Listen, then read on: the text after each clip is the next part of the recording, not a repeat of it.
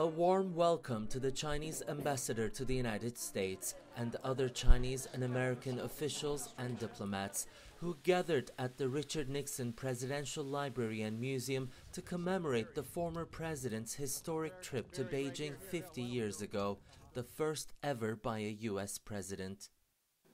The two leaders, with a masterly grasp of the shifting international landscape, put the interests of their nations and the peoples before the differences in ideology and the political system to end over two decades of antagonism and hostility and open the gate of China US relations.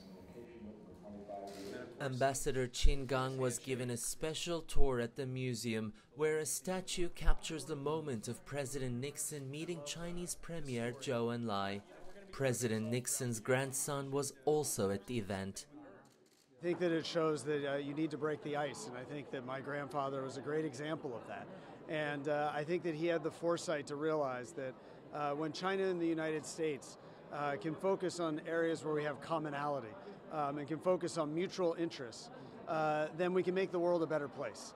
It's a symbolic visit by the Chinese ambassador to the United States here at the Richard Nixon Presidential Library and Museum to commemorate the 50th year of Nixon's historic visit to China, becoming the first president to do so and laying the groundwork for normalizing relations between the two nations. Among the guests of honor, Elaine Chao served as the first Chinese American member of a president's cabinet. She says lessons could be learned from Nixon's visionary leadership. Well, President Nixon uh, saw something very unique. Everybody knew the tensions at the time in 1971, but it was only he who saw the opportunity and had the courage and the vision to open a new path between China and the United States. And so hopefully there will be a wise statesman at this stage who will be able to see the opportunities during this time. At a time when China US relations have repeatedly proved to be critical, not just for the two nations, but for the rest of the world.